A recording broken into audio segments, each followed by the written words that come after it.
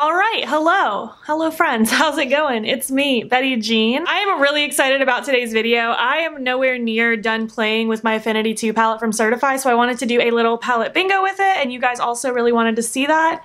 Here's what it looks like in case you haven't seen it. I already did a first impressions and a 3 looks 1 palette with this, just in case you missed them, I'll have them down below.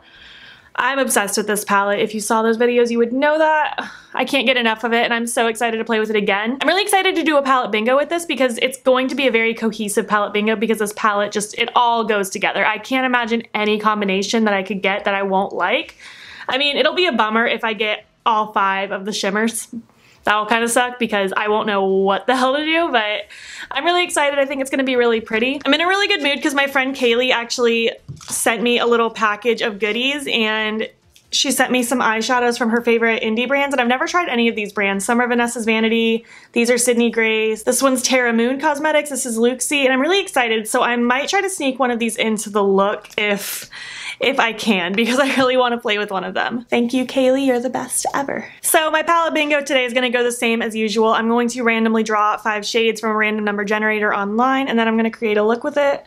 Obviously, I don't know what I'm going to do, what I'm going to create or anything, so let's just go ahead and draw the numbers. There are 18 shades in this palette, so I have my little Google generator here from 1 to 18, and I'm going to draw five numbers. So let's see, we got 14, 15, and 10. I'm gonna stop there so I don't lose track. 14, 15, 10. So we got 14, 15, and 10. So far this is looking like my second look in my 3 Looks 1 palette video. Lots of greens. And then just two more. We got five and two. So we got the pretty blue duochrome and we got this pretty matte mid-toned blue. So this is actually a really good color combo. We got three mattes, two shimmers, one's a duochrome. I think this is gonna be really pretty. I like that the two shimmers are vastly different because I think it could create a really just cool and unique look. I don't know what we're gonna do but I'm excited to do it. I'm going to zoom you guys in now. I'm going to off camera prime my eyes with my Smashbox lid primer in light and I'm not going to set it because I don't do that. And guess what? My brushes are actually clean now. So I have all clean brushes to use for this. I'm hype. All right, so I'm thinking I wanna take this one first and just start swirling it through the crease. Not too insanely high up, but high enough up that it's gonna be kind of my middle color if that makes sense. And I do want heavy focus in the outer corner because that's just how I do things, you know? I like a pretty elongated look with my eye looks. And I'm only gonna keep this in the outer portion because I want to use the blue more towards the inside. I'm mostly just focusing on patting it down. I'm not really blending just yet. What's going on today, guys? It's Friday for me. I'm doing this. I already worked this morning for a couple hours. I'm filming. I'm going to probably film another video after this, actually, because I have an extended break today. And then I'll go back to work this evening and then go to the gym tonight. We didn't end up going last night because Morgan wasn't back in town yet. So we're going to have to double up tonight, which is very fun. I'm going to take that blue shade now, and I'm just taking that on another little blending brush. This is gonna go in the front portion of my crease. I wanted kind of two colors in the crease today. But yeah, that's what's going on. No major plans this weekend. We might potentially go try to see Detective Pikachu tomorrow night because I'm really excited to see that movie. We don't really go to the movies too often. Like, we might go more than the average person, but there's certain movies we just really want to see when they first come out, especially because we don't want to get, like, spoiled. Not that I'm worried about major spoilers on Detective Pikachu, but you never know. I'm also going to pop some of this blue in the front portion of my lower lash area. Are you guys interested in Detective Pikachu? I want to know like who cares to see it. I think it's going to be really good. I think Ryan Reynolds is going to be hilarious, of course. I think that they did a really good job with the character design from what I've seen in the trailers. Like they actually look like Pokemon. They don't look like weird. I don't know. I think they did a good job overall with that. I'm just going to use that same brush that I used for the first shade. I just wiped it off and I'm going to go in now with that lighter teal and I'm just going to dip in very lightly. And I'm just going to, with very light pressure, just use this to kind of buff and blend the edges, particularly in the outer corner. I'll bring it through this front portion just a tad bit, but I mostly want to use this to buff and blend out this outer corner and really blow it out.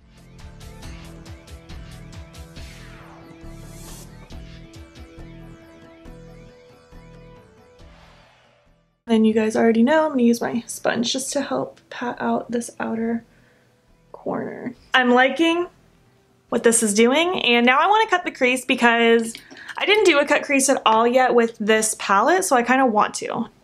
I know it's not really like a good solid reason, but I just want to. So I'm going to use my Makeup Revolution cut crease canvas, pop that on my lid and look up so I can see where my eye in particular transfers. And I'm just going to take this little BH Cosmetics brush. I like it for cut creases. It's not my favorite thing for cut creases, but I also really like it. It's a weird in between. And I'm just going to cut the crease, you know? I'm just doing a half cut crease today, so I'm going to stop it right where those shades in the outer corner are really like building up. Sometimes this brush does not fail me and sometimes I get so sloppy with it. So I'm just gonna go in with this little angled brush now to really help make everything look crispy.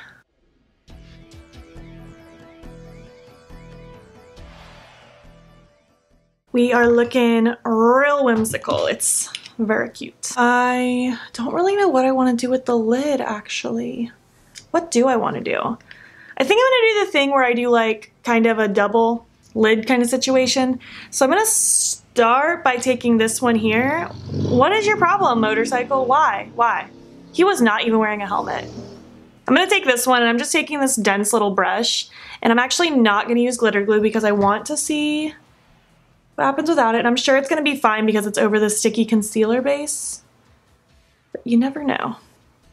And I want this to kind of start towards the top portion of this outer corner and then work its way diagonally down towards the inner corner.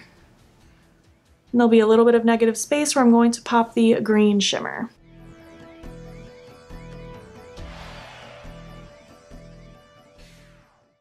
This blue duochrome is so pretty. I'm obsessed. Now I'm going to take that green shimmer. I don't feel like picking up my palette. I'm just using the other side of that exact same brush because lazy. And I also just had to wash all my brushes and I do not want to do it again anytime soon because I hate washing my brushes. But I'm just popping this basically everywhere that there isn't shadow. so just everywhere in that negative space. I decided to do this order because I thought it would pop more having the green at the top than the blue at the bottom because if I did the green at the bottom, the blue at the top would not even look like a cut crease at that point.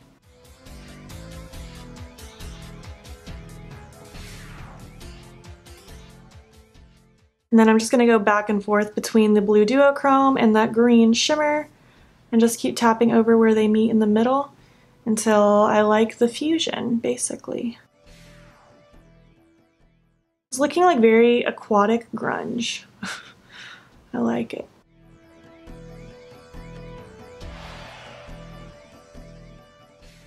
I feel like I need more blue right here. It's just all getting kind of lost. Ooh, I like this. Now just gonna smudge this outer corner. I feel like I want more depth in my lower lash line. So I'm just taking the smudgy side of that brush that I was first using with that darkest teal color, that very first one we put down. And I'm just really gonna make sure my lashes have it right up to them.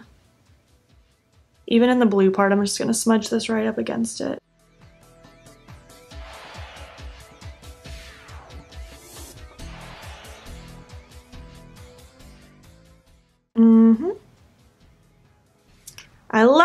I love it. I love it. Which eyeliner do I want to use? I don't even know. I have so many options.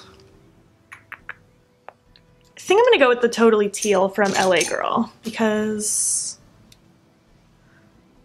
I like this color. I've had a few people ask me how I feel about these LA Girl pencils and I mean I feel like they're pretty good. I mean, I guess I wouldn't keep reaching for them if they weren't. They seem to stay in my waterline pretty well. They're really creamy and they blend out easy if I need to smudge it down more. I, I'm not really having any problems, so it's pretty solid. So if I was going to stick to the actual Palette Bingo rules, I would probably blend the shimmery green just kind of in my inner corner. but I really want to use one of those shadows my lovely friend gave me, so that's what I'm going to do instead. I think I'm going to use this one from Vanessa's Vanity. It's called Invisible Gold, and I mean, just look at that. So cute. I think that's going to be really pretty in the inner corner. Oh. Hi, that's so cute. It reminds me so much of my Halo highlight from Give Me Glow. It's so pretty. Oh, that was such a cute, magical little touch. I'm totally just gonna be keeping this little palette she gave me on my filming desk so I can just dip into it from time to time because it's real, real cute. That added a beautiful little touch. I guess now I'm just going to do the other eye, throw on my lashes, something on my lips, and we'll finish this up. So this is it. This is the final look. What do you think? I'm digging it. I feel just very tropical. It's cute. I paired it with the Sugarpill Trinket Liquid Lipstick. I don't know. I just thought it would be cute. I like the gold that kind of shows through in this and I thought that would complement my inner corner. And I also threw that shade a little bit in the top portion of my lipstick because I thought that would be just a, a cute little extra element. my lashes are the Bold Face Makeup Lashes Out Lashes again, as usual. They're one of my favorite pairs of life. I like this overall look though. I had a feeling this palette bingo would go really well just because like it's a very cohesive palette. Like you really can't go wrong. I like what I did with these shadows. Would you have done it differently? I would love to hear your thoughts on what you would have done instead because I just, I don't know, I like chatting with you about that. What do you think about this palette? Do you love it? Do you have it? I want to talk about it. If you enjoyed this palette bingo, please make sure to give it a thumbs up. Let me know what other palettes you want me to do palette bingos with. If you're not already, please hop over to my Instagram. It's BeautBean. Follow me there. I post every single day and don't forget to subscribe here before you leave. I post at least five days a week, usually six or usually seven. Thank you so much for watching and I will catch you in the next one. Okay, bye.